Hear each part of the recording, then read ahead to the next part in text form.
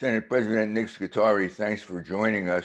I guess the question that most people around the State House would have is how would a Nick Scutari Senate presidency differ from a Steve Sweeney Senate presidency? Can you answer that? Well, he's a lot taller than I am.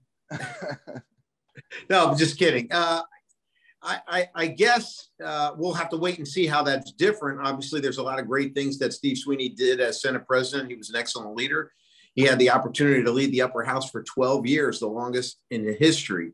So if I could do half as good as him, I would feel honored. But uh, I think we're going to try to do more is less, uh, less is more. Uh, a little bit slower, a little bit more methodical on our legislation, taking our time to vet things properly, giving members of our uh, caucus as well as stakeholders a real opportunity to uh, weigh in on important pieces of legislation, and then increasing our messaging and make sure that the message that we want to deliver to folks is actually received. When we do lots and lots of stuff all at the same time, sometimes things get lost in the translation. What's your top priority going forward?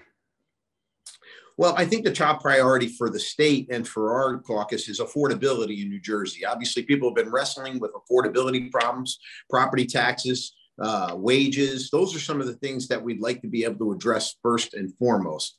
And doing that in a bipartisan manner. If you look, our, our first real board list has come out on Monday. We only have eight bills on our agenda, and four of them are sponsored by Republicans. So I've never said that I've cornered the market on good ideas. Wherever those good ideas come from, we'll embrace them. And if they're right for the people in New Jersey, we'll help, we'll help them get passed.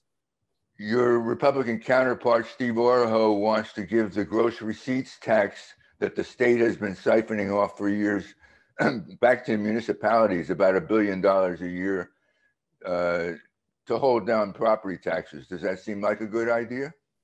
Well, it, we'd have to delve into that a little bit more carefully because if you take that off of the state budget coffers and, and, we don't have any way to replace it, that might be problematic for the executive branch. But I'm certainly willing to talk about that. We've talked about doing that with some of the energy receipts uh, and uh, and things alike. And we've already passed a bill uh, similar to that, not quite as large as what Senator Oroho's talking about, but yeah, stabilization.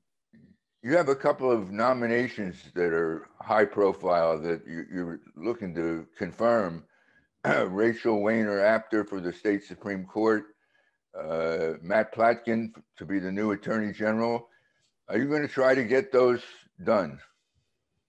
Well, uh, they have to go through the process just like anyone else. Uh, both of those individuals. I, I, know more about Mr. Plack than I do a, about Miss uh, Apter, but uh, based upon his his skills that he exhibited during his period of time with the governor's office, and I think he's grown a lot since that time and helped steer us through the pandemic that no one had ever seen before.